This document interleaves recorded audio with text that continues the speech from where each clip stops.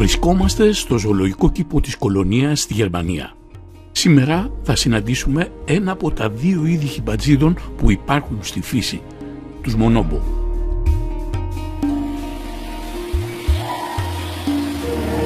Ζουν στα τροπικά δάση της Κεντρικής Αφρικής. Ο ποταμός Κόγκο χωρίζει γεωγραφικά το φυσικό περιβάλλον των δύο ειδών, δηλαδή του κοινού χιμπατζή με την επιστημονική ονομασία παντρογλωδίτες από τη μία όχθη και τους μπονόμπο με την επιστημονική ονομασία παν πανίσκους από την άλλη.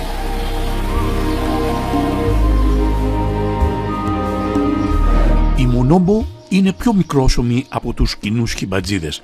Έχουν μαύρο τρίχωμα και πρόσωπο σκούρο. Έχουν ένα ακόμη χαρακτηριστικό που τους διαφοροποιεί. Όταν περπατούν στα τέσσερα, στηρίζονται στις παλάμες και όχι στις αρθρώσεις των δακτύλων, όπως οι κοινοί χιμπατζίδες και οι γορίλες. Από ό,τι φαίνεται ήρθαμε την ώρα του φαγητού.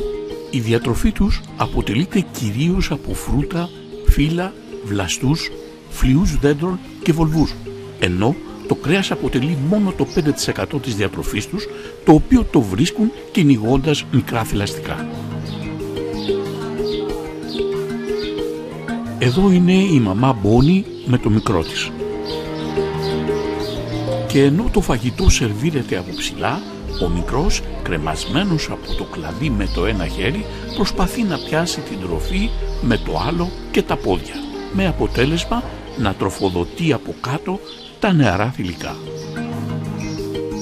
Επιστημονικές μελέτες έχουν αποδείξει ότι τόσο οι κοινοί χιμπατζίδες όσο και οι μονόμπο έχουν καλύτερη βραχυχρόνια μνήμη ακόμα και από τους ανθρώπους χάρη της οποίας απέκτησαν δεξιότητες να χρησιμοποιούν απλά εργαλεία όπως αυτό εδώ το ενήλικο ασθενικό της ομάδας.